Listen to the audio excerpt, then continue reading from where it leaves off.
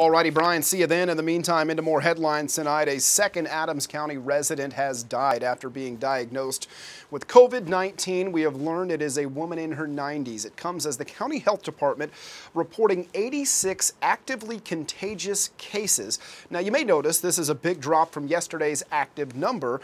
That's because the health department has changed the criteria for what's considered an active case. They now only consider cases active if a person is considered contagious.